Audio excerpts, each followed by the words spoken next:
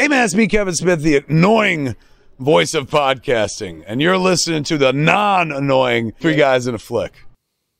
Ladies and gentlemen, please take your seats. The show is about to begin. I admit we knew we'd get in trouble. That part's true. We knew people would be worried and we still ran away anyway. But something also happened, which we didn't do on purpose. When we first met each other, something happened to us.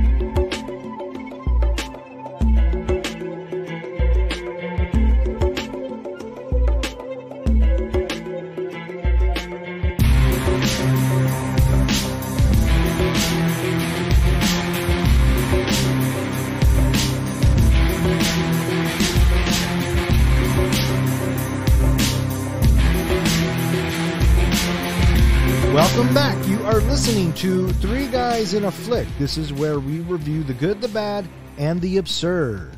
Tonight's episode Moonrise Kingdom. Beware spoilers. Coming to you from mile 3.25 Tidal Inlet, my name is Don. And to my right, we have the comic book guy, John. Jiminy Cricket, he flew the coop. And to my left, we have the professor, Ken. Hello, everybody. How you guys doing? I'm doing pretty good. How you doing? Nah, I can't complain. Yes, you can. You do every single show. I do. I don't. Every don't- single show you complain. No, I don't. I don't know what you're talking about. I myself am doing quite well tonight Why is that, uh, comic book guy? because it's a lovely podcast evening. Oh, that's weird. That doesn't sound like him, does it? Uh-uh. Tonight we are talking about Moonrise Kingdom. This movie was submitted to us by one of our listeners, Gabe. Uh, thank you so much for the suggestion, and we are excited to talk about it. Have you guys? Have either of you seen this before? I had, yes, I had seen this before. What about you, John? This was my first time seeing this movie, and I'm so happy that we got to watch another puppy snuff film. Well, I mean, I I guess I can see where you're coming from because they do accidentally kill a dog. Um, but yeah, I wouldn't call it a puppy snuff film. That's a bit harsh. But I'm just wondering, what does Wes Anderson have against dogs in his movie? Um, well, that's a good question because you know uh, throughout his movies there are some references to the canine. Well, I guess Buckley. I've never seen the Royal Tenenbaums, Tenenbaums, but Buckley gets run over. Uh, in Life Aquatic, the three-legged dog gets hit with a newspaper.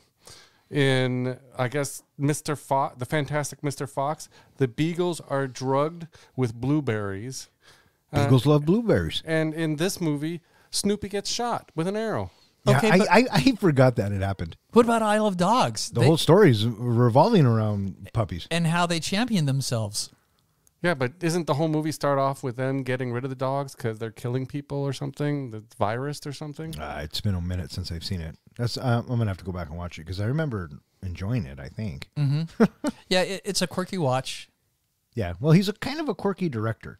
Uh, one thing I did actually read is one of the reasons why he incorporates uh, things happening to animals or happening specifically to dogs in it is because it's a way of him making it feel real, like there's real uh, penalties or fatalities, like life is real in his movies.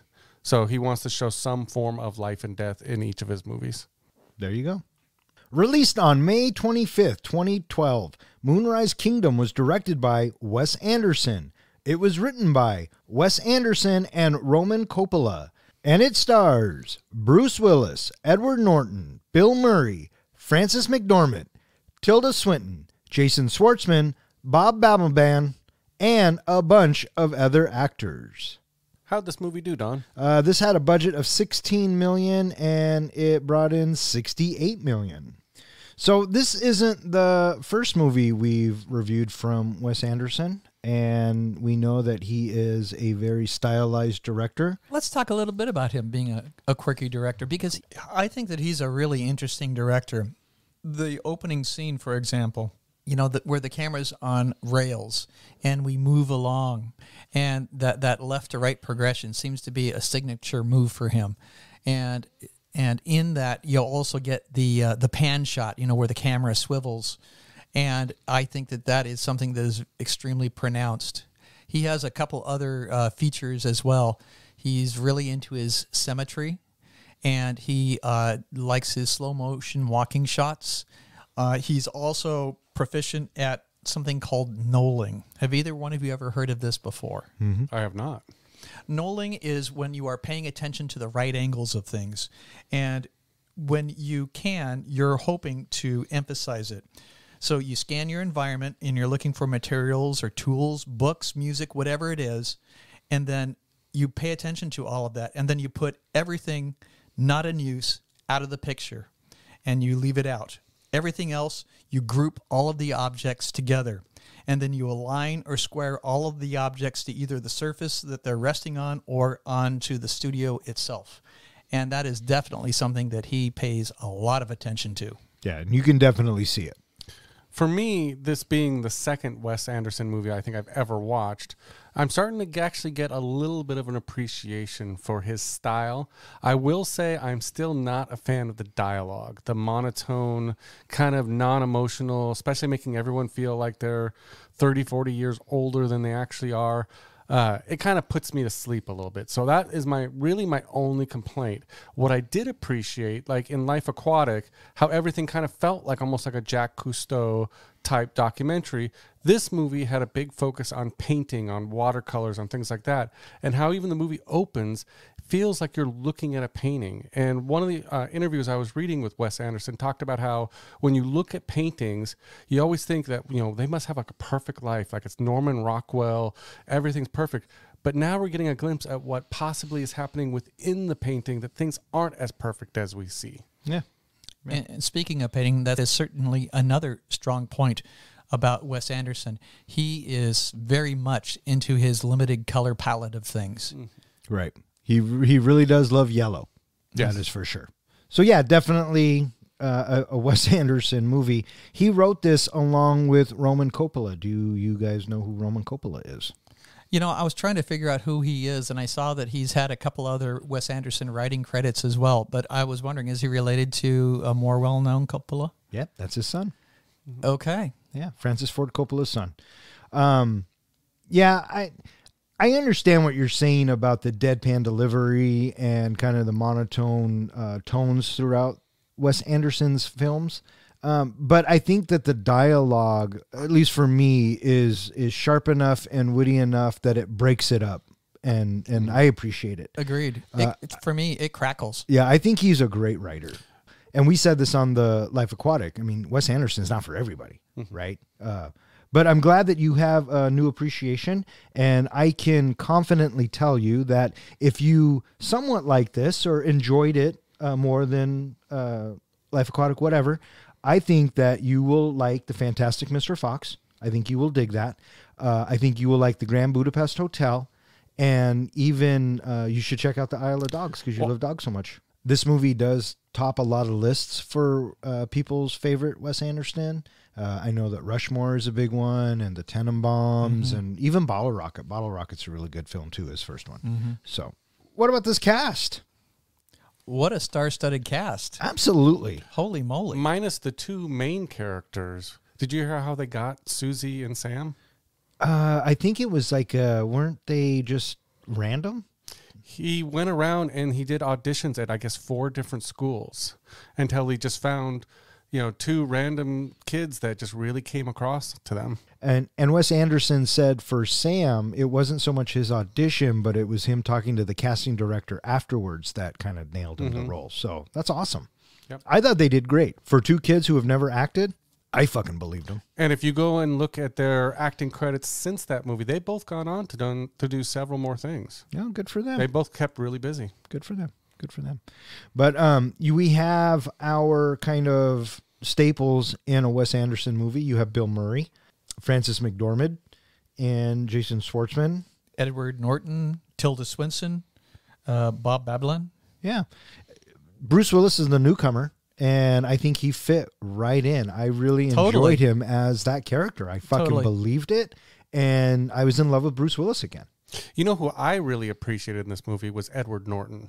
He always comes across as kind of a gruff, unpredictable guy like Fight Club or uh, you know, these other type movies.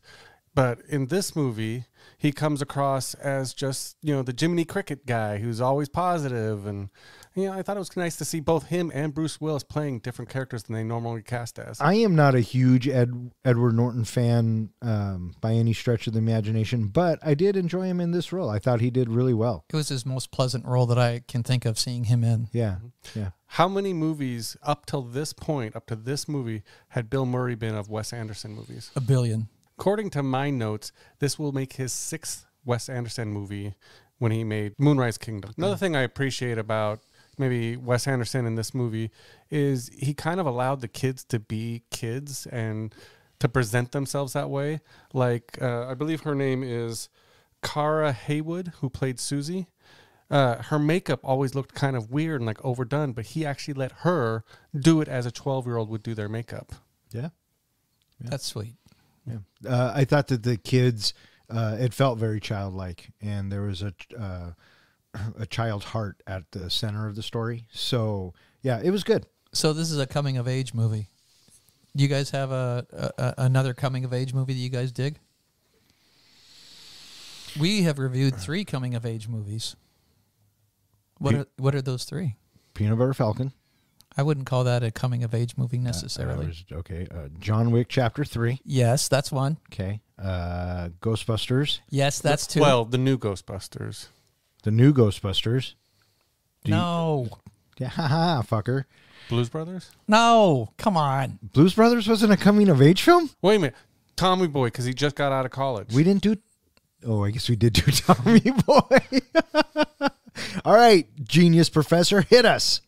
Big Okay, one. Breakfast Club, Okay, two. Booksmart. Oh fuck me. Yeah, he's he's right.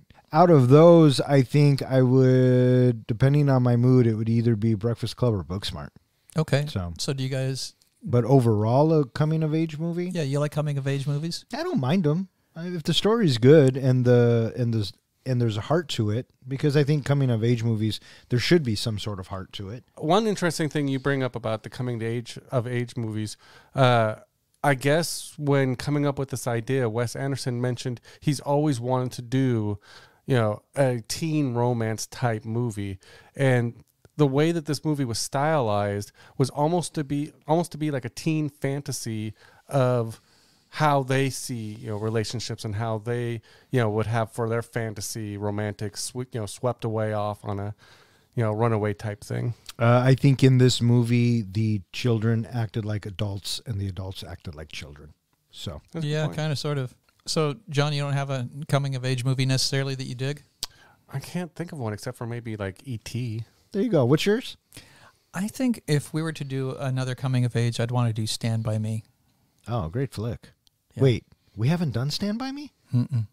no but we did tommy boy Thanks, bud.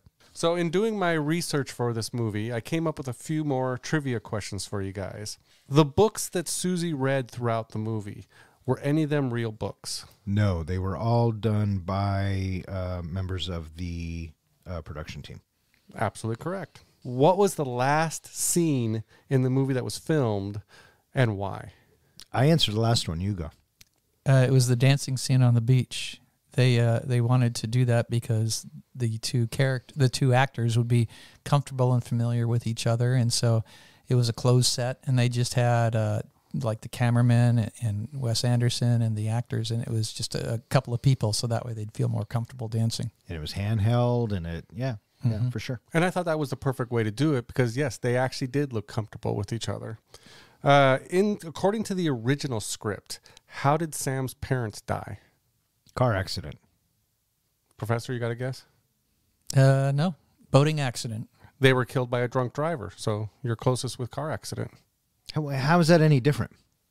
How come I don't get? Well, I'm closest. How come it's just not the right answer? Because maybe they were run over by a drunk driver. I don't know. Right, you don't know. So the answer is correct, and I want you to fucking acknowledge it. The answer is correct. Yeah, boy. And my last question for you. When Sam is surrounded by the scouts in the lightning field, oh yeah. he says, On this spot, I will fight no more forever. Who does that come from? It comes from the Native American uh, is it Chief Joseph? Chief Joseph, excellent. Uh, so much better than what I was going to say. In 1877, Chief, Chief Joseph attempted to lead his people on an 1,100 mile journey to Canada to try to escape the U.S. Army. They made it within 40 miles before they were completely surrounded, and chose, Chief Joseph made that exact same speech. This movie was nominated for Best Original Screenplay. I'm surprised it didn't win any awards. Soundtrack. What do you guys think of the soundtrack? It really fit the movie, I thought. Yeah, it was. It felt very Wes Anderson. I felt a lot of inspiration from uh, what he had, what his previous project was, uh, Mr. Fox. You know, kind of the Oh, pacing okay. and the and the tunes and the way it moved. Um, yeah, I dug it. Uh, Wes Anderson um, is pretty solid with his soundtracks. I do have one question for you guys, and it's something I couldn't figure out. There is a lot of references to corn in this movie. Is there some symbolism I am missing? Because I guess Wes Anderson is really big into symbolism. What is with the corn? I don't know. Do I even have to say it? You guys know what I'm going to say. No, who cares? Yeah. Well, I mean, just the, it seems like it's really obviously put in there. The Scoutmaster is reading Indian Corn magazine. Sam smokes from a corn cob pipe. The three Bishop boys are eating corn on a cob in one one dinner scene. Uh, I mean, it's just all over the place. And in the end, they talk about how the storm created the best corn crop the island has had in 50 years. So it just kept popping up over and over again. I didn't know if that was some kind of- Popping. I didn't know if that had some kind of like symbolism in this movie. Well, he does like his yellow, as somebody was saying. Yeah. Well, no. Um, if anyone was going to have the answer, I fucking thought it would have been you. So So anyway, listeners, if anybody knows what the deal is with corn, please put it in the comments. On the New England island of New Penzance, 12 year old orphan Sam Shakusky attends Camp Ivanhoe, a khaki scout summer camp led by Scoutmaster Randy Ward. Susie Bishop, also 12, lives on the island with her parents Walt and Laura, both lawyers, and her three younger brothers in a house called Summer's End. Sam and Susie, both introverted, intelligent, and mature for their age, meet in the summer of 1964 during a church performance of Noye's Fludde and become pen pals. The relationship becomes romantic over the course of their correspondence, and they make a secret pact to reunite and run away together. In September of 1965, they execute their plan. Sam escapes from Camp Ivanhoe while Susie runs away from Summer's End. The pair rendezvous, hike, camp, and fish in the wilderness with the goal of reaching a specific location. So this movie opens up in typical Wes Anderson style, and I can't believe it took me this long to kind of put this together or for this thought to come into my head. But even like with the Life Aquatic and all of his other movies, the way we move the camera, the way we track left to right, go up and down, and we can see, it's like we're in a dollhouse.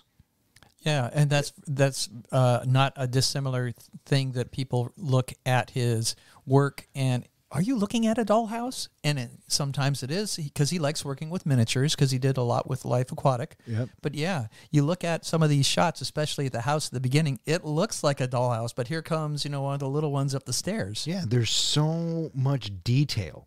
You know what I mean? So uh, instantly, I'm already uh, mesmerized by what's going on on screen. One thing I also read about this movie is it's supposed to appear or feel like when Susie reads from her books, one of her fantasy books. Did you get that kind of impression from the way that the story was going? No, not really. Uh-uh. Okay. This is how we meet the Bishop family, is through the is through the different scenes of the house, and we get what at least three different shots of Susie with her binoculars, and then we're introduced to the island by the narrator. What do you think of the narrator? Uh, he was fine. Uh, he definitely fit. He's another one that was in a lot of Wes Anderson Yep. films too. Yep. Uh, he he fit what was going on. Uh, he he was a he was a good puzzle piece to this whole puzzle. He made me kind of feel like like every time he was shown eh, we were going back to kind of that life aquatic documentary like maybe he was just making a documentary on storms and so they were switching back to him every so often to talk about this island I just took it that he was uh, helping us propel the story along because it, it ends with him talking about this big storm that's coming in three days' time. Right. And then from there, we are introduced to Camp Ivanhoe. And I like this scene. Uh, again, we have our long tracking shot, but we get what I would assume is like the daily routine. You know what? Uh, uh, Edward Norton gets up. It's so funny watching this. I know. And uh, the first thing he does is lights a cigarette. And then he kind of goes through when we're introduced to the characters and their jobs and he how it gets goes outside on. the tent. His, his uh, kerchief, you know, his scarf. It's being ironed by one of the kids. yes. Yeah. he puts it on and they start walking. Yeah. Uh, I really enjoyed this scene. I thought it was good. And then he ends up. uh, Latrine. with- let's see that latrine work. yeah, that was good. And then after that, where do you go after that? Uh, to the cook, didn't he? Didn't he go sit down and have some breakfast? Well, no, but he had several stops along the way. The firework, the guy with the fireworks, the one with the tree house way up in the Oh air. God. The tr- it's too tall. yeah. th- oh, it, it was the uh, the ants. And so he Oh, stops. yes. What are you doing with that? Because he's got the open flames and he's got Right. and he's got the fuel. And then he doesn't talk anything about that. It's you're out of uniform. Your shirt's untucked, and you know, write him. And he's We're writing writing you up for uh, uniform. Right. Yeah. One of the things I guess they were going for in this is they were trying to show that each one of these scouts has some kind of issue or mental condition or something wrong with them. And even though they treat Sam as the outcast, he seems throughout the whole movie to be the best of the scouts. Cool. Yeah. I, Okay. I I never I never once thought any of them had any type of Not even the guy Mental- killing ants with gasoline or no. He's No. fucking. Tw- you've never killed ants with gasoline. not gasoline. Twelve years old. You've never had the magnifying glass crispium. Okay, maybe a magnifying glass, but I was never allowed to play with a big thing of gasoline or um, build a treehouse that was what, 100 feet in the air? Okay, you, you, you got to know when exaggeration exists, Okay. and you just have to go with it. Know- Because first of all, that treehouse couldn't exist. Physically, the physics wouldn't work. It's like uh, Scoutmaster said, it's too wobbly. It's not structural. The whole bit about you know when you know they're making fireworks, they need to make more. Go get more. Go get Gunpowder. more. Gunpowder. Yeah, go get more gunpowder. And when you also have to remember, this is 1965. Totally. So, I mean, Kids were tougher back then. absolutely. Fuck yes, they were. Well, maybe. And then we meet Captain Sharp because he is being notified of a runaway. Oh, we have to notice that he's gone first, though, right? Yeah. Yeah. Well, they notice that uh, when they sit down at the table. Someone's missing. yeah. Who's goes, missing? Who's missing? And they go, Sam. That's right. Sam. And then they go to his tent. And then I think because we're like five minutes into this movie, 10 minutes into the movie, I think it really hooks me here because when Edward Norton, they're searching the tent and he goes up and there's that poster. And I said, I swear to God, if there's a hole there and it's Shawshank, I'm fucking in. That was our first movie. Uh, The fucking awesome. Yeah. So good. I love that scene. I loved his little tool that he whipped out th- to get the zipper up. Yeah. Um. Uh, it has the emblem. Uh, it's a pocket knife, right? Yeah. It's a Scoutmaster, uh, khaki Scout mhm. uh, knife, which he gets taken away later, Yep. but earns it back. And I thought it was interesting too that we kind of get the impression that Sam, you know, is was older than his actual age. He's more mature by not just saying he's running away or whatever, that he's resigning from the khaki scouts. Yeah, and this all kind of comes back to the dialogue. Even when uh, we get introduced to Sharp, and it's Bruce Willis and their dialogue that goes back and forth, when they notify his foster parents, uh, what does they what do they say? We can't invite him back. Yeah, we can't invite him back. so I mean, all of the dialogue just kind of fit with what was going on. It Which is great. fun, which is funny because they even say we can't invite him back before they find out he ran away. That's right. Because uh, Sharp's like, wait a minute. What do you mean you're not inviting him back? He just he can't understand what's going on. And the interesting thing I thought is everyone uses the same phrase when talking about him that he's emotionally disturbed. Yeah. They say it throughout the whole movie. It's like everybody knows this or everybody's heard this that he is emotionally disturbed. Yeah, well, that's what that's how people were labeled when they were just misunderstood or out of the norm, right? And especially in 1965. Um, I don't think that kid was mentally disturbed whatsoever. I think she might have been a little bit, but that's a different story. Also, we get to see that the uh, the side by side. You know, you have this drab blue where we have Captain Sharp, and then we have the foster parents in that brightly lit yellow backdrop on the other side. Right. Such a stark contrast. Yeah. Because right after this, we go back to Scoutmaster Ward, and he's gathering uh, the scouts together, and they're going to do a search party. And then this is where they talk about, you know, um, you will not hurt him. You will, you know, and he's really laying into them, and he's like, And then the scouts are like, "Well, I'm I'm not going out there without a weapon. You going out without a weapon? I'm not going to go out without a weapon." And then you see that baseball bat With all those nails. with all those nails sticking out of it, and then you have the other kid, you know, with with the, with it's bigger than a hatchet. It might be an axe on his back. right.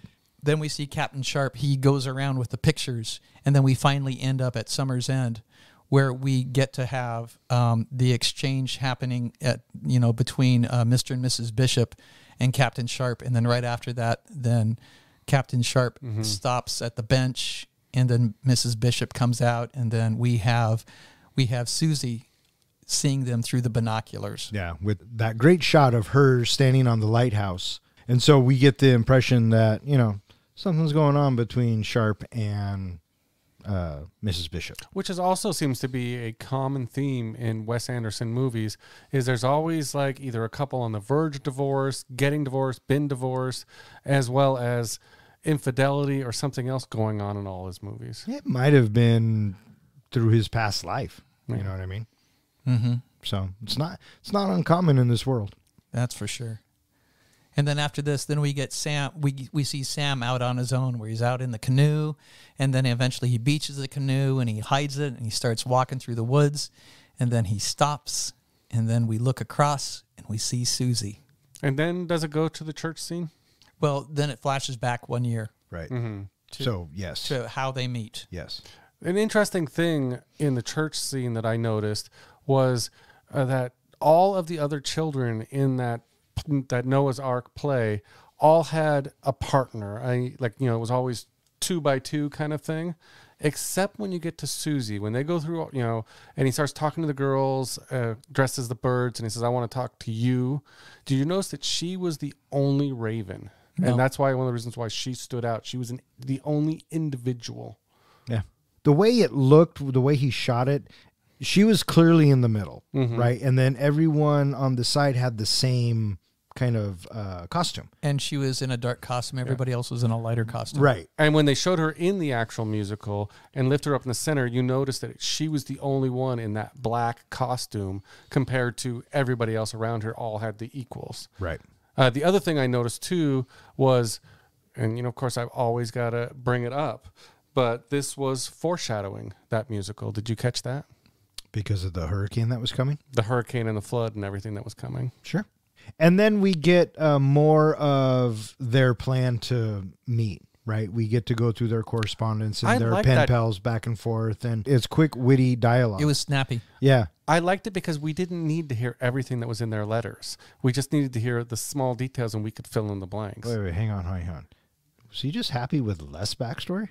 Is that what you just said? That's weird. I'm saying the communication, No, the, I, the I. I understand what you said. What I'm saying is, did we just hear him say he liked less backstory? Somebody who invents and concocts and creates endless backstories to plot points. Professor, we are fucking winning. We're gonna win him over to the Wes Anderson side. Look at this guy. He's he's he's evolving like a fucking uh, butterfly. I thought you were going to say I'm maturing and growing up. Uh, I am so proud of you. Uh, no, yeah, it, it was great. Uh, he- here's my plan. Cut to I'm in. Cut to where? Cut to when? Cut to bam. Here we are. Meanwhile, the khaki scouts have become aware of Sam's absence, finding a letter he left behind stating he has resigned. Scoutmaster Ward tells the khaki scouts to use their skills to set up a search party and find Sam. Police Captain Duffy Sharp and Ward contact Sam's guardians, the Billingsleys, learning they are actually his foster parents and Sam is an orphan with a history of behavioral issues at home.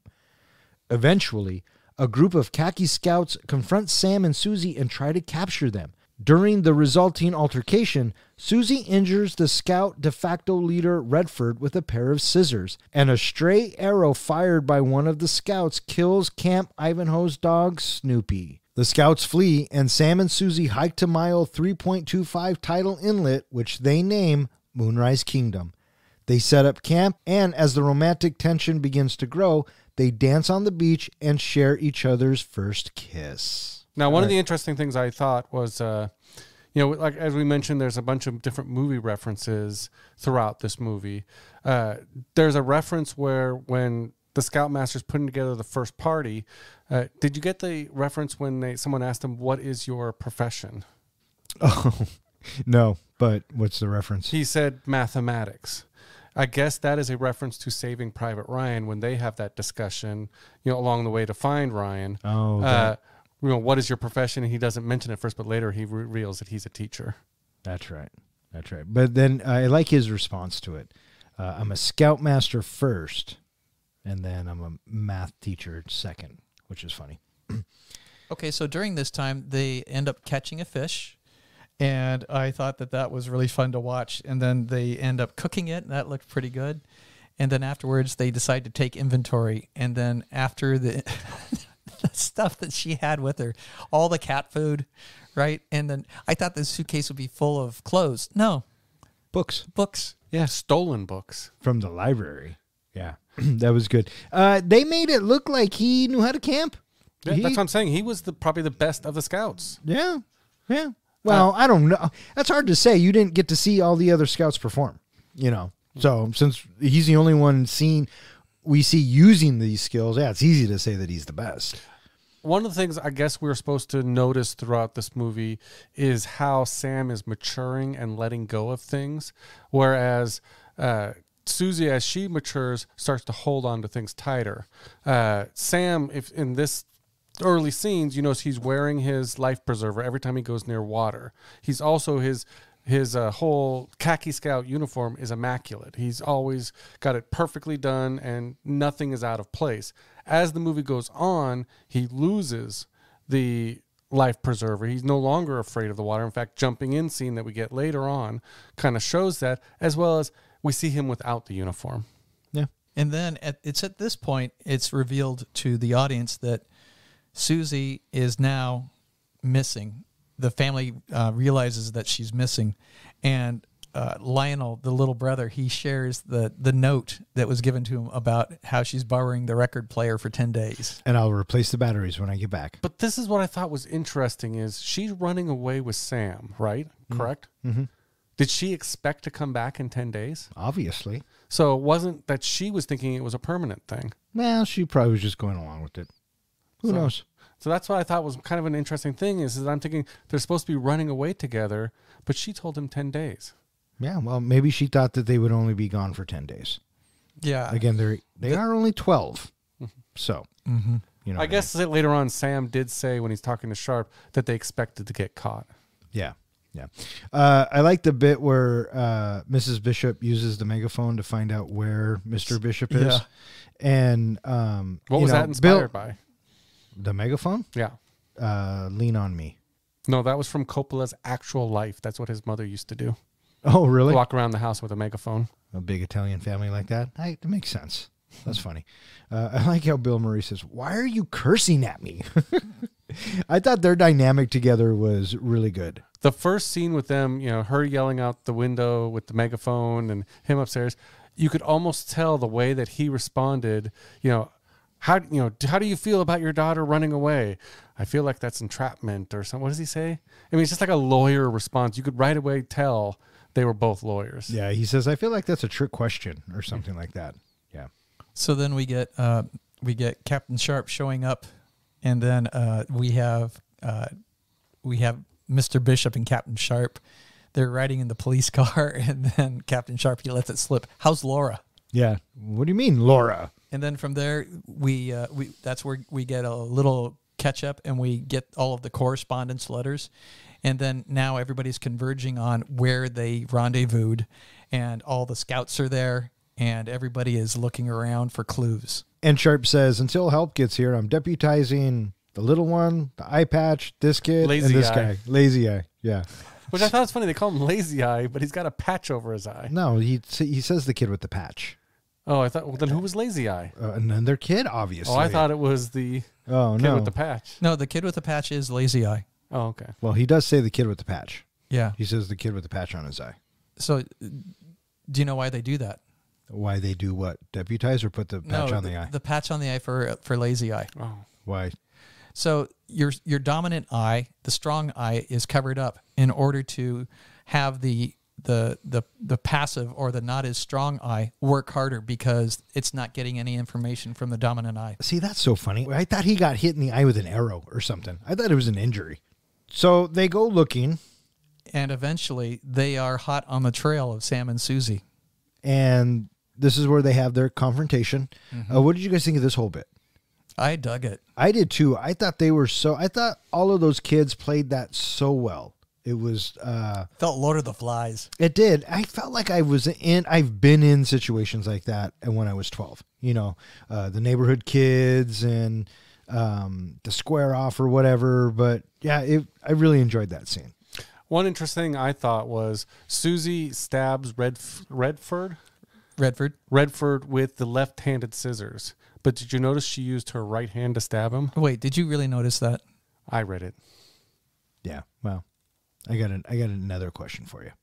You're the one who always kind of points out goofs in movies Now, How is that a goof? because she had cla- said earlier she was left-handed, So what? She can't use her right hand ever. not to stab people. How do Murderers you- how always do- use their favorite How do hand. you know that? I'm not going to talk about it. So I, I really dug how when, when the clash finally happens, they they're screaming at each other and they're and they're racing towards each other, and then it's it's a, a shot of the woods, and then it's a scream off in the distance, and then we see all the scouts come flooding over the hill. Running back because they're all scared and Yeah. yeah, yeah. Do you know why Sam and Susie won? uh, because they're the protagonists of the story and they have to win. No, because they had the high ground. Oh, for fuck's sakes! And then the very next shot is is the bike in the tree. It's like how the hell did that end up there? Yeah, and I mean this comes to what John refers to as uh, puppy snuff, but they kill fucking Snoopy Yeah, that was harsh. assholes. You know why? I, you know why it didn't bother me too much? Because it looked like a fucking puppet. So I think that has a lot to do with it. If you take a gorgeous looking little puppy like John Wick, and you look into his big brown eyes, and then you pan the camera away and give it the sound effect, way worse than what we just saw in uh, Moonrise Kingdom. Yeah, That's we all I'm saying. We didn't we didn't get any sounds of the dog dying. Nothing.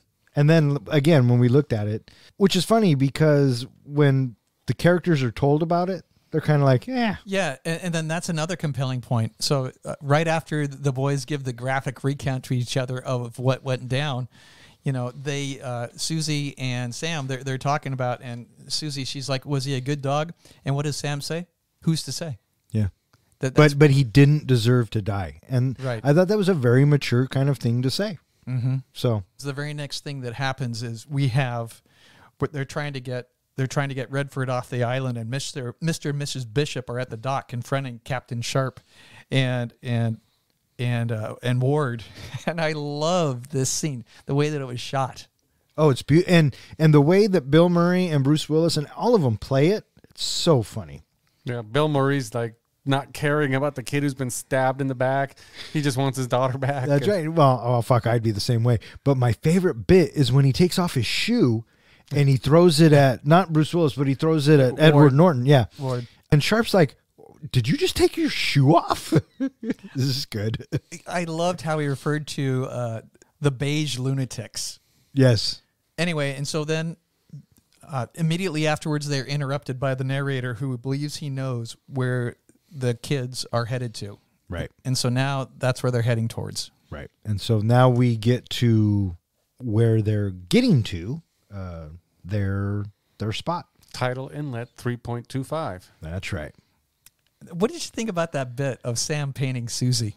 I thought it was a bit Titanic, That's what I thought too. That's the first thing I thought of. but what sells it and what sells Sam's character is the corn cob pipe. totally, that's exactly what I was. I kept thinking. wanting to know what he was smoking. I thought about that for a second. Uh, 1965 kids, probably tobacco. Yeah. It probably really Maybe. was. So, And then right after that, I made you some jewelry, and then uh, this scene killed me. fish hooks. The fish hooks through the ear. fish hooks. And I kept thinking, okay, well, first of all, it's going to really hurt. How, do we know if they're clean because they've used them to fish with? They went through the ears, but then you can't just pull a fish hook right out. I know, and uh, her mom even uh, kind of mentions yeah, that how later gonna get on. these out of your Yeah. Um, and the dead bugs on them. Were those real or were those just like lures? Those were beetles. Those were well, real I beetles. know they were beetles, but I want to know were they real or were they lures? Haven't a clue. Oh wait, I have a question. I'm with you Then why'd you ask? because you brought it up. Immediately after this, they express their love towards each other, and then we have their first kiss. this whole scene, and again, this just goes back to maybe me having some troubles with the way that Wes Anderson presents the dialogue, is I couldn't tell for sure if, you know, I, I got the feeling that they really cared about each other and really loved each other. But this whole thing of, you know, the first kiss and everything else that happens, it felt like they were just repeating what they see adults do. It's not so much that that's what they wanted to do, but that's how they saw a mature relationship. And now that they were together and off alone, this is what they were supposed to do. There just didn't seem like a lot of feeling in it. Well, I mean, how much feeling can you have at 12 years old? It's supposed to be your first big love, your first big crush, your first big teen romance kind of thing, you know, into the whole broadening of growing up and maturing. I don't know if I felt it in this scene. Like when, you know, they kiss and he turns and spits and then you want So a funny. you want a French kiss? Okay. I mean, Were you ever 12? I was 12 at one time. Um, I thought everything that they were doing, I don't know if they were just going on what they've seen. I'm sure that's some of it, but I think that with the characters and the way it kind of developed, you could get through their dialogue leading up to this scene that they did care about each other and and they're living this this fantasy that they can just disappear and run away, which come on, isn't realistic at all, but they're in the moment, right? And so I thought they did a fine job. And what immediately follows after this? The next scene we have immediately after this is that she is reading to him in the firelight. Yeah, mm-hmm. which I think is wonderful. it is, I thought it was very sweet. Yes, And again, the corncob pipe.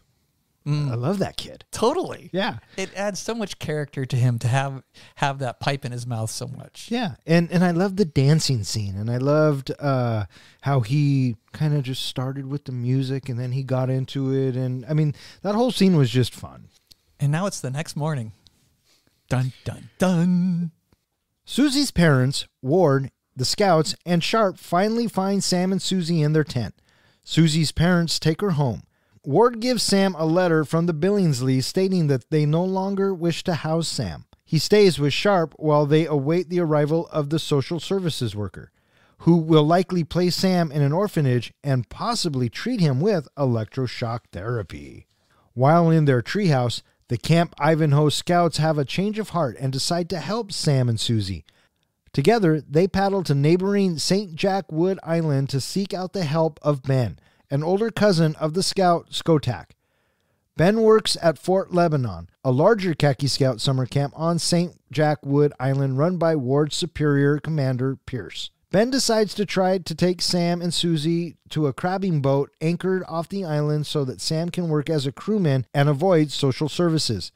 He performs a wedding ceremony, which he admits is not legal binding before they leave. Sam and Susie never make it onto the crabbing boat, and her parents, Captain Sharp, Social Services, and the scouts from Lebanon under the command of Ward pursue them instead.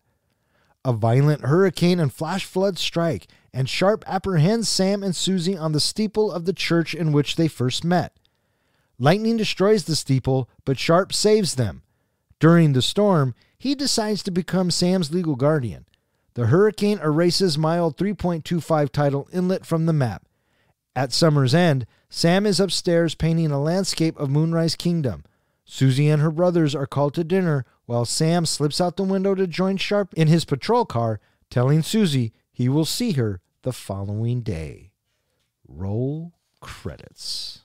So it turns out that the narrator did know where they were, and we get a shot of them in the tent sleeping, and we hear a plane uh, pass over, and some boats and some rustling, and then all of a sudden the zipper snaps up, and there is Everybody. Well, doesn't he actually, uh, Bill Murray's character, lift up the whole tent off of them? Eventually. eventually, Oh, yeah, eventually. yeah. So clearly they're caught. Uh, I, I liked that moment when he does that because he he comes rushing at them in a rage. He's he's rushing towards us, the camera, and then when he picks up the tent and holds it over his head, he's like, "Oh, this is really light type of look on his face. He was Right. surprised by He that. wasn't expecting it. Yeah. So then they are taken back. And Sam is given the letter, and he's now discovered that he has no place to go. Right. Because he had kind of mentioned earlier that he liked his new foster family. Yeah, he said that they were getting along and everything seemed to be going well.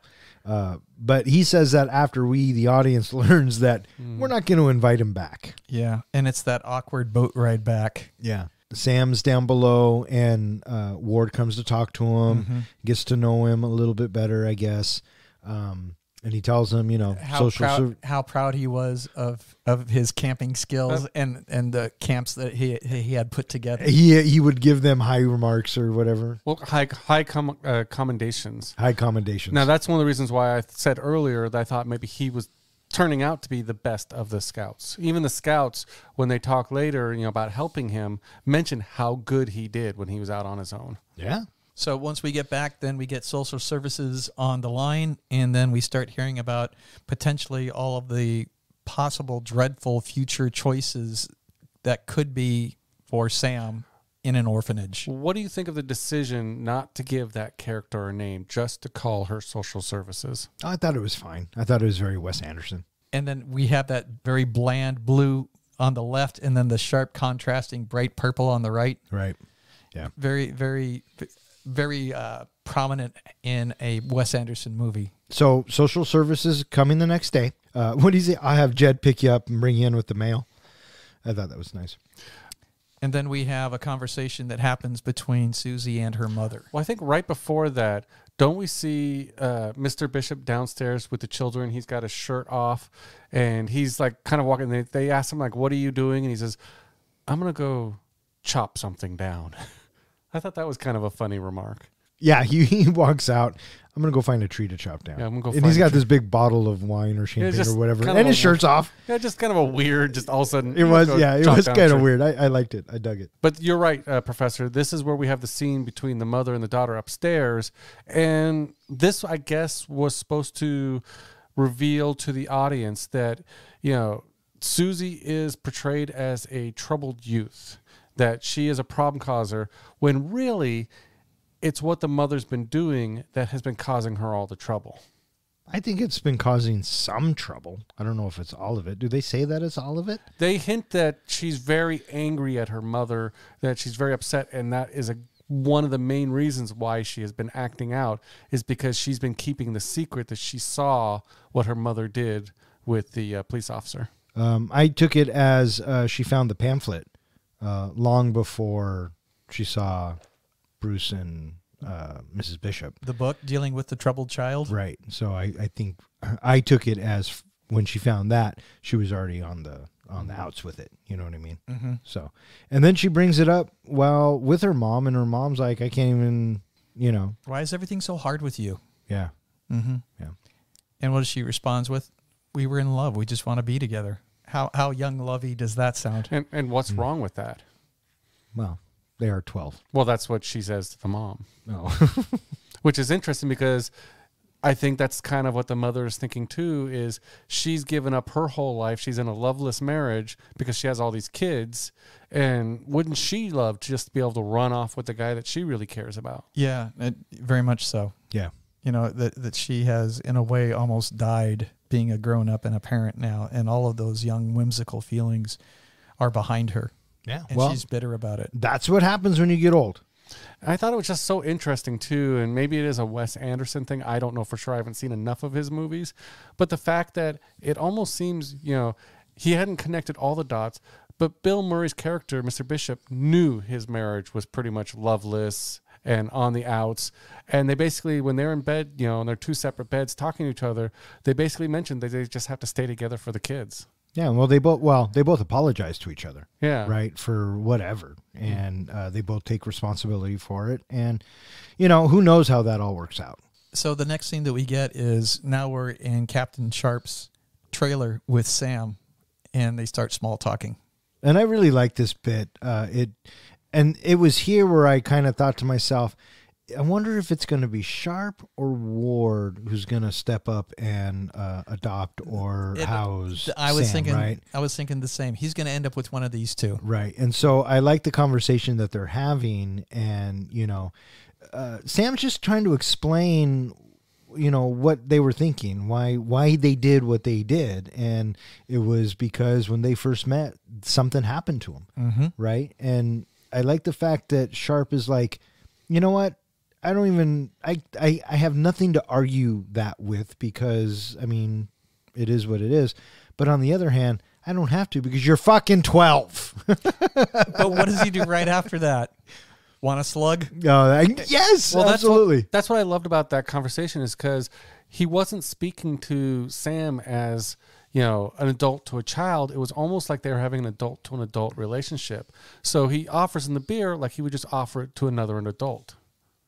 I well, I kind of took it as he was just trying to be cool, hmm. I don't know. the, the but, cool uncle or whatever. but he gave him a second slug as well. yeah, yeah, which I thought was funny. And then next scene, we're up in the treehouse. up in that treehouse, they're all there and they're all playing poker, and they got Did I notice that the treehouse was kind of wobbling a little bit still? Yeah, physics, man. well the storm, the Oh. the, the upcoming storm. This is where we get, you know, the khaki scouts coming around saying, you know what, maybe we made a mistake. Yep. Maybe we should help him out. Maybe we should help him be together. And maybe he's not that bad of a kid. I mean, he is an orphan and he has his issues from being an orphan. Yeah, and they recognize that, you Right. know, and so they kind of give him a second chance or whatever. So yeah, they decide you maybe we want to help. That's right. And so they were smart, and they spring the girlfriend first. Well, I loved how how they they're like, "Okay, what do you need? For starters, three yards of chicken wire, some ripped up newspapers, and a bucket of wheat paste." Yeah, I don't know if it was like a little later on. I love the fact that she took the the record player again, and this time she didn't promise to give it back because screw him yeah, for, absolutely. for tattling. yeah, I know. And come on, you can't go, you can't not go anywhere without tunes, Yeah. right? 1965, you had that little portable record player. I fucking Yeah. loved it. Yeah. And then the next scene we have Mr. Bishop. He's sitting outside at that mostly chopped up tree, and then out comes Mrs. Bishop, and she takes off on the bike. Yeah. And then right after she leaves, then you have one, two, three, four, five, six, seven, eight scouts come out the bottom half, and then the ninth scout he opens up the top half and he walks out the door normally. Yeah, I saw that. Saw that. So they spring her, and then they go to get him, and they're like, "Hey, dude, we'll, we'll get you out of here." And he's like, "Nope, I don't want to do it unless I don't trust you. well, and, and I don't want to go without Susie." And then she peers over, and then there's that look on his face, like you just got so happy. Mm-hmm. So I thought that was really good. Yeah. He says, "There's no point, That's right. not without Susie." And then, bink, her head's over the top. So the plan is to get them to Fort Lebanon to get them to talk to an older cousin of the scout Skotak, uh, cousin Ben, which is played by Jason Schwartzman. And they the plan is to get him away from social services so he doesn't have to get electroshock therapy, but they want to put him on a crab boat so he can start working. Crabbing. Yeah. Uh, but he doesn't want to go without his wife. Yeah. Well, he hasn't married her yet. I know, but he he wants to marry her. And then a and then a nice little moment here. The the uh, narrator he injects about the upcoming storm, and he specifically points out that it's 4:35 a.m. So the the storm is becoming a more prevalent part of the story arc. Right, right. Because it's going to culminate uh, at the end of this night, Yep. right? So they get into the camp and they meet Schwartzman's character. And what do you guys think of Jason Schwartzman here? Oh, he was great. He's in it for like two seconds, but he does such a good job. Yeah. This cast is really strong. I think this cast is great. They, I guess, get married in no legal sense whatsoever. And um, That is one of the best interactions. I think we were talking about earlier before we started recording, Don, that you said the whole idea of, you know, that he's telling them you're entering into a serious contract, you have to take this very serious, and do you understand this? And they're like, yes. And he's like, no, you, I don't think you're taking it seriously enough, and I want you to go over there and think about it, and I love I- that. I want you to go over there and think about it and come back me and look me in the eyes. and then spit out your gum. Oh, this is a serious thing. I, I don't like the attitude. Jason Schwartzman's great delivery in that. Mm-hmm. Yeah. I have to say that whole dialogue totally crackles. You know, I want to bring my wife, but we're not married yet. Are you his girl? Oh, what I love so much about that moment is right there at that moment when he says, I want to bring my wife. And then in the background on the platform, the rocket pff, Oh, off, right, yeah. Right. And then, but we're not married yet. "Are you his girl?" And then she says, "Yes." And then the rocket hits the ground. Yeah. Wonderfully choreographed and timed. I, I just I thought that was so delightful. Another thing that I thought was really really fun that happened just a little bit before is the little the little guy. He is where is my record player? And then it shows an exterior shot of the house, and it's a big long ah, Yeah. realizing that it's gone. Yeah. I loved that moment.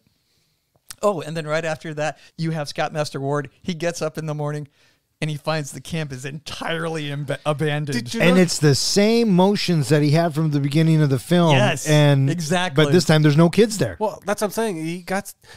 He must have gone through the whole same thing, and he didn't really notice they were all missing until he was sitting at the table. yeah, well, yeah, I thought I thought him because he rung the bell. that was so funny. Yeah, Did you catch the reference right after uh, cousin Ben marries them? That he says the line, "Take the carbon, leave the Bible." Did you get the movie reference in that? No. take the stop it. Leave the body, take the cannoli. Exactly. Leave the gun, take the cannoli. What'd I which say? was Oh, you said leave yeah, body, right. which was a call out to the Godfather. Yeah, So they jump in the sailboat and they and they sail away and they forget and then they sail back.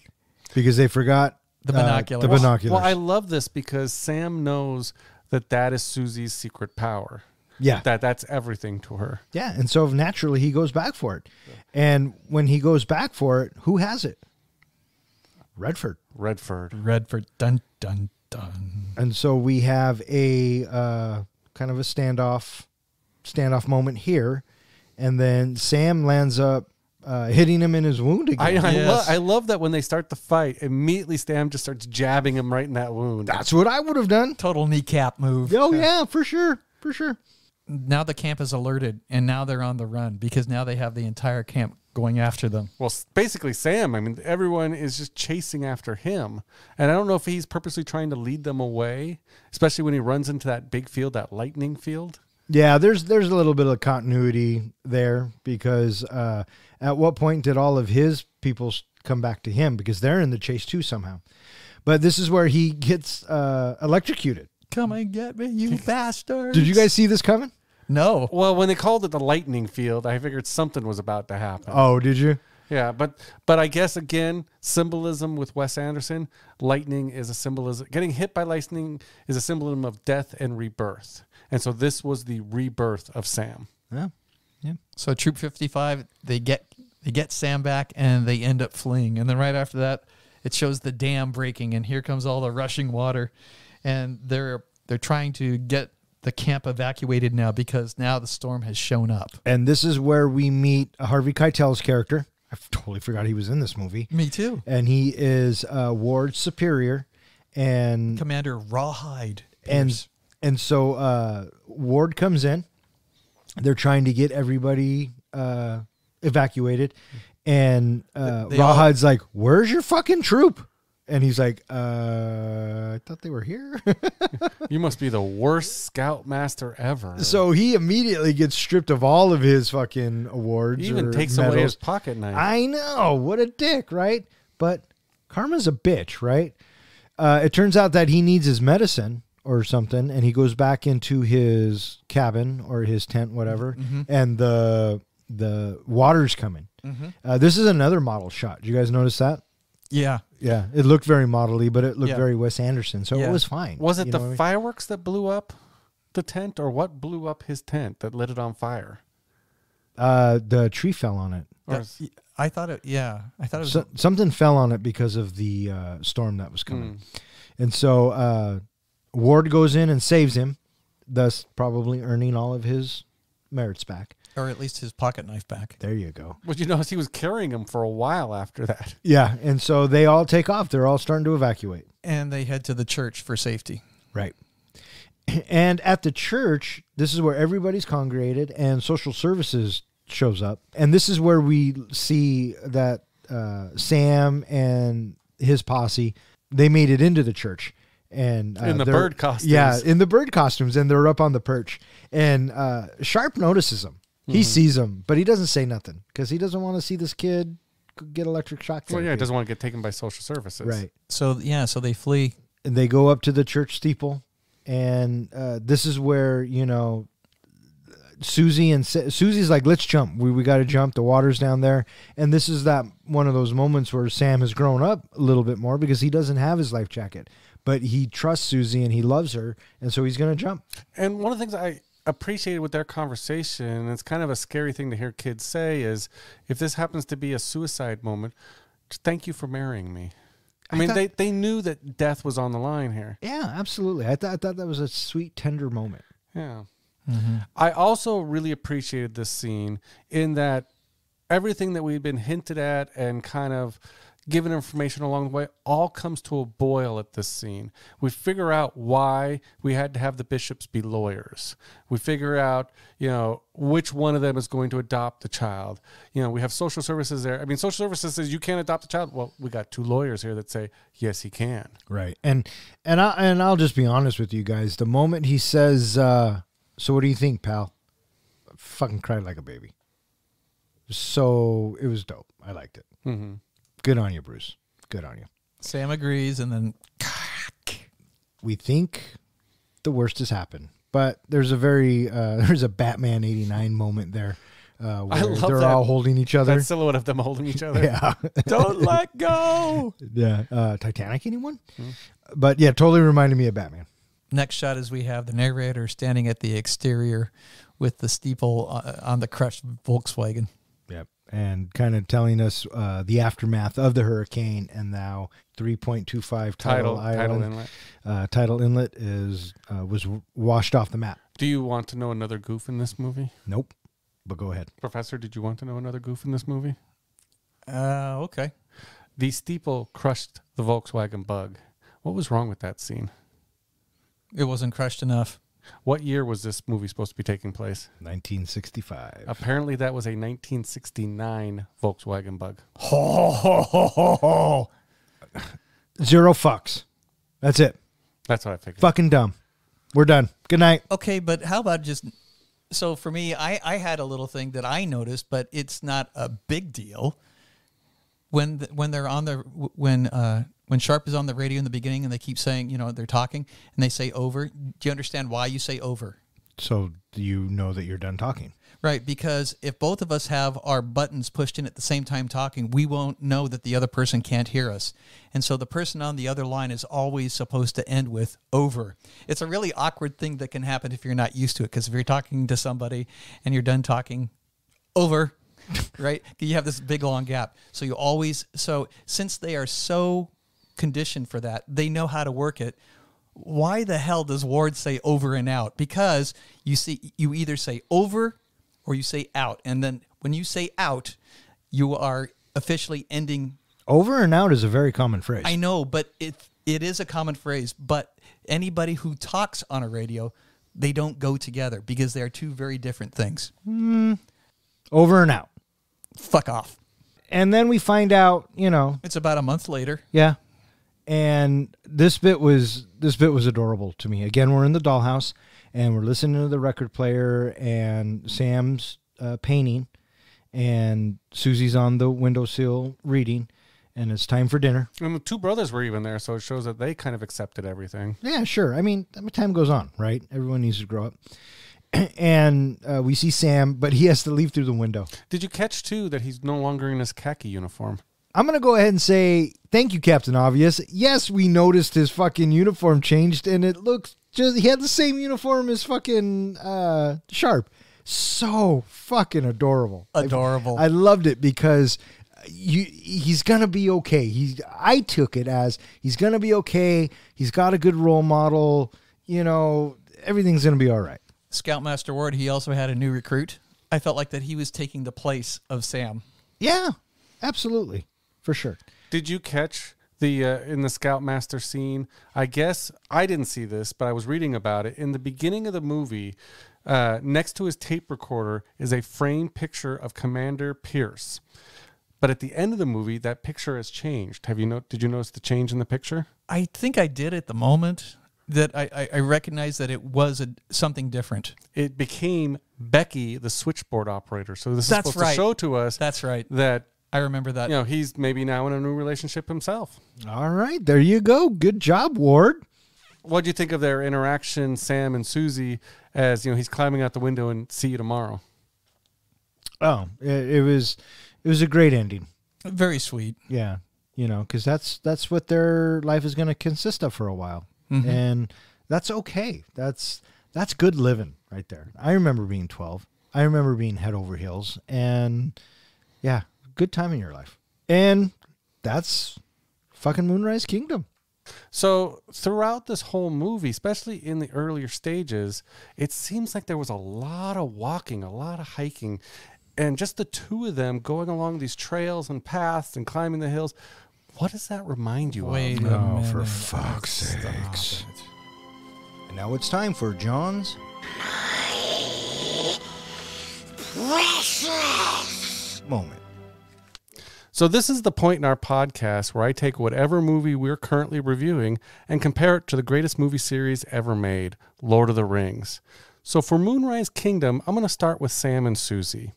Both are characters on a journey. Just like Frodo and Sam grow over time during their journey, so do Sam and Susie. So essentially, I'm going to say both of them are Frodo and Sam, depending whose journey you're focusing on. Both show qualities you know the same type of qualities determination loyalty overcoming fear and so on. Captain sharp is my pick for aragorn. For most of the lord of the rings it's aragorn who is trailing frodo and sam all the while wanting to make sure they are safe and at the end much like aragorn it's through sharp's actions like aragorn aragorn's diversion at the gates of mordor that helped keep them both alive I'd say he helped them complete their journey, but really, their journey is ongoing. Scoutmaster Ward shows a lot of Gandalf qualities. He's wise, he's willing to lead, but like Gandalf, not everyone is willing to heed his wisdom. Mr. Bishop shares qualities of Denethor II. He tries to keep rule over his kingdom that is currently crumbling all around him and he dislikes his biggest threat to his rule, Aragorn, in the form of Captain Sharp. Cousin Ben gives me an Elrond type vibe. He seemed to both support and not support the journey of Sam and Susie. And like Elrond, he gives the impression that he's not always thinking that these folks are taking the matter seriously enough.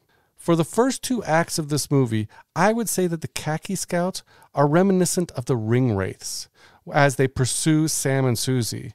It's when they choose to help Sam and Susie later on that I feel like then they become members of the fellowship, all except Redford. Redford, the scout who got stabbed and remains Sam's enemy, came off as a Saruman the White. He continues to follow orders and is just being a jerk. So, who is the big bad in the movie? The evil eye that watches and sees everything.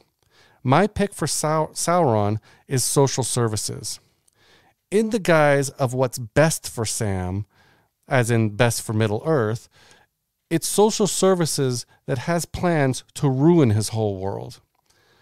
Notice how social services just seems to know everything going on without actually being there. It's like she sees everything. So, what is the precious? What is the one ring? In Moonrise Kingdom, the ring is represented by the barriers that society puts on us, telling us who we are and who we are meant to be. Sam is seen as emotionally disturbed orphan. He longs for connection, for the family that he lacks, to be part of a group, but really he's held hostage and separated from the group from everything that he wants. For Susie, she's seen as a very troubled child who just wants to be free to be herself, to be accepted as a different from everyone else around her. Her troubles stem from her mother's actions. Unknown to others, it's not until she's with Sam that she's able to become who she wishes to be. For much of their journey, it almost feels like they're going through the motions of what they feel an adult relationship should look like. But as their bonds grow, especially at the church spire scene during the storm, they become who they are meant to be, beyond caring what society thinks. That's when they cast off their ring into Mount Doom and free themselves. And there you have it, my comparison between Moonrise Kingdom and Lord of the Rings. Bring on the grades. What, you got? Fine. Fine. I'll- well, Frodo and Sam are obvious, and I, I, I think I appreciate the uh, the Sauron angle for social services. I thought that was good too, and I can see how the uh, the khaki troops can be like the Fellowship. You know, they're all banding together to help uh, Sam and Susie.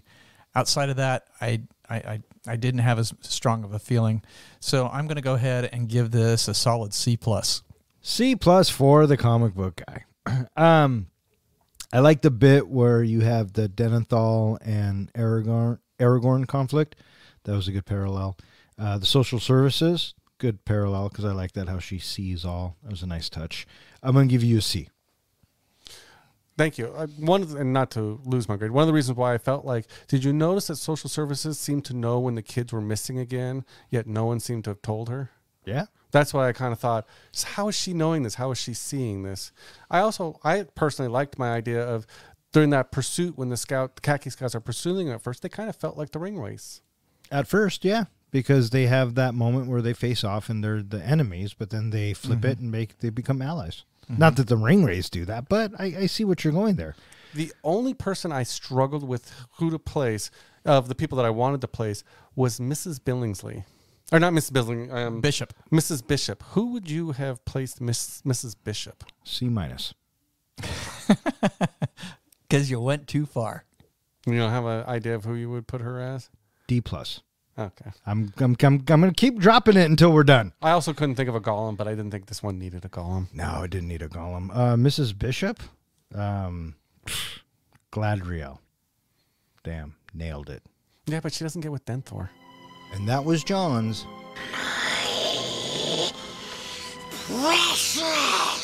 Moment.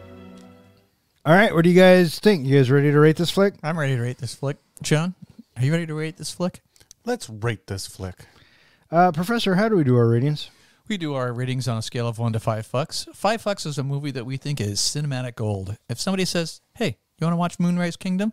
Fuck yeah, I do. That's a fucking awesome movie. A one fuck movie is uh, what the fuck was that? And what's a zero? A zero fuck movie? Oh, for shit's sake! What the hell? This movie isn't. This movie isn't even worth a fuck. I want one hour and thirty four minutes of my life back. Or in other words, we just don't give a fuck.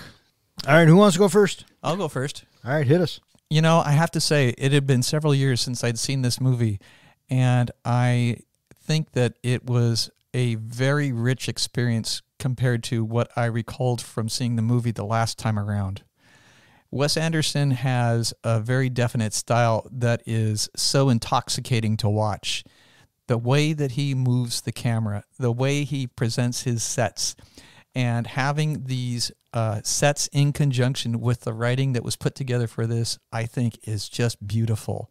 It is such a stylish look and so distinctive, and it is captivating to watch. And it was a very fun, entertaining movie to watch these two characters go on their little journey together. And it is such a sweet and tender story between these two. It is so enchanting to watch them as they go about their little adventure together. The supporting cast that we have in Bruce Willis and Bill Murray and Frances McDormand and Edward Norton, delightful. They are such wonderful, restrained characters playing their roles. And I just loved any time any of these characters were on the screen because they were presented so interestingly. I thought that the movie was just the right, you know, it, you know, at, at an hour and a half, really, really tight story, and I thought that it moved very well. And I am eager and happy to watch this movie again anytime soon. I'm going to give this a solid 4.25 fucks. 4.25 fucks from the professor. I'll go next. Unless you wanted to go next. No, I'll save mine for last. Okay. All right. Uh, Moonrise Kingdom. I like Wes Anderson as a director. I like Wes Anderson as a storyteller and a writer. I think that his movies have style and I think that they are witty and clever and snappy, as you were saying, Professor. I think the soundtrack for this film fit like a glove. I think this cast was spot on. and everything that needed to come together to make this film happen did. And, you know, it shows on screen and it, it was captivating and very well written. I, I was I'm a big fan of Moonrise Kingdom. This is probably my third time seeing it, and I have to say that I like it more and more as I watch it. So will I watch Moonrise Kingdom again? Fuck yeah, I will. Um, is it a perfect movie? No. Is it my favorite Wes Anderson movie? No. I am pretty adamant about Fantastic Mr. Fox being my favorite Wes Anderson movie, and I'm looking forward to us uh, talking about it one day. But I did like Budapest. Uh, I did like the ones that came after and before. But this definitely is probably in my top three of Wes Anderson films. I'm glad that we reviewed this movie. I'm glad we got to talk about it. I'm giving Moonrise Kingdom 4.25 fucks. All right, comic book guy. Typically, I'm not a fan of Wes Anderson movies. I think I have made that apparent, although really it's hard to say that because this is only the second one I've seen. From the start of the movie, I felt like we were watching a painting be made due to the styling and the colors. The the dialogue felt a lot like brushstrokes, and in some ways the tone was like watching paint dry. I will say Moving past the non emotionally delivered dialect of Moonrise Kingdom, I do appreciate the story and the obvious symbolism throughout the movie. I'm actually a really big fan of symbolism in movies and you know finding them and spotting them and understanding where the director was going with it. What I took from this movie is that it's about finding your place and growing beyond your set boundaries mainly kind of being like reborn into the next phase of your life. On the surface, Moonrise Kingdom appears to be just about relationships. The new relationship between Susie and Sam, the crumbling relationship between the bishops, the scandalous relationship between Mrs. Bishop and Captain Sharp, the relationship between the scoutmaster, I guess, and all the khaki scouts, and everything else going on. But as the movie progresses, you start to see it rise beyond relationships and delve into breaking out of defined roles. Susie is defined as a very troubled child. With Sam, and through his eyes, she is able to, to become more of a free spirit, a nonconformist, and a storyteller. Sam, in the beginning, is defined as emotionally disturbed. He's an orphan who just wants to belong, wants a family, and is a conformist. So he throws himself into the khaki scouts, while at the same time unavoidably standing out as the movie goes on, he is able to shed some of his conformist ways, including his uniform, and be okay with standing out. He even has a ritualistic rebirth with a lightning strike scene. This movie did have me struggling at certain points of whether or not I would support two kids running off together or where I'd be more on the parent side of being upset that the two kids would run off together. But then you have to remember this is a fantasy. This is you know how children would see themselves running off and you know having their first love everything like that. And so i appreciate the movie for what it is. The pacing was good. All the side stories felt necessary. The soundtrack worked amazingly with the overall design and it's for that reason that i'm giving moonrise kingdom 3.25 fucks 3.25 fucks from the comic book guy, 4.25 fucks from the professor, and 4.25 fucks from yours truly gives Moonrise Kingdom an average of 3.9 fucks. And with 3.9 fucks, it now ties the Suicide Squad with the 12 position, which means it is slightly better than True Lies, Planes, Trains, and Automobiles, Rambo First Blood Part 2, Black Panther Wakanda Forever, and slightly worse than The Batman, Clerks 2, Edge of Tomorrow, and Violent Night. So there you go. 3.9. You know, I will say that for all the flack that I give Wes Anderson, I would watch this movie again. Leaps and bounds, baby. He's growing by leaps and bounds. Look at that. It's a very sweet story. Mm-hmm. All right, that is going to wrap it up for this episode. If you would like to know which movie we are going to review next, please check out our website And speaking of which, John, where can they find us? Well, as always, they can find us at our website, threeguysandaflick.com, where we post all of our podcasts, our show notes, movie trivia, really anything else I feel like putting up on our site. You can find us at any of the social media sites or any uh, podcast directory. All right. I just want to thank Zach, Ronnie, and Jill for always listening. Keep on listening. Thanks, Zach. Thanks, Ronnie. Thanks, Jill. Thanks to Gabe for throwing it into the helmet and making us watch it. We had a really good time. And I want to thank everyone who listens and who has suggested a movie. Be sure to pass this along to a friend. And if you keep listening to them, we'll keep recording them. So, for Three Guys and a Flick, I'm Don. I'm John. And I'm Ken. Thanks for listening.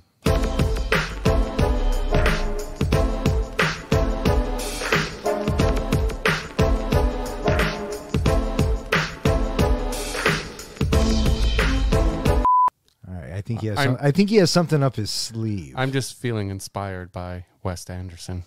Wow, that is that is such a uh, shock because I'm just going to remind the listeners real quick.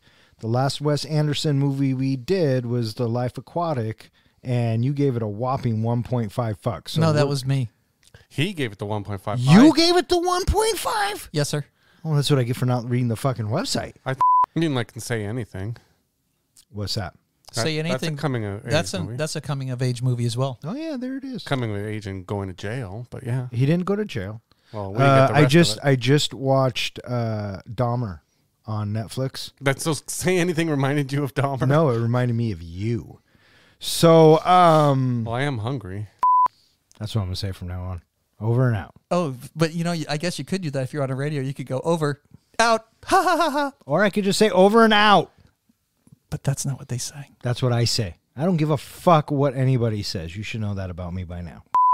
and uh, we see Sam, but he has to leave through the window. Did you catch too that he's no longer in his khaki uniform? Oh, Hunter. I almost fucking said it. Oh, and it was going to be the first of the show C plus from the comic book guy. Uh, I like the bit. the comic book guy What did I say? from I don't give a fuck. Fuck You. I enjoyed it. I really did. Well, that's why you gave it 4.25 bucks. Thanks, buddy. Thanks, Captain Obvious. What I- was- Porn name? I was trying to think. I of knew you guys something. were going to go there. Of course we were. Uh, I got one. Hard on Kingdom. No, no, that's just Too easy. Moonrise Kingdom. There you go. Mic drop. Professor? Could bring, bring a whole new meaning to that beach sequence. Uh, whoa, whoa, whoa, dude. They would be adults in your Stop movie. it. Stop it. Fuck off. Good night.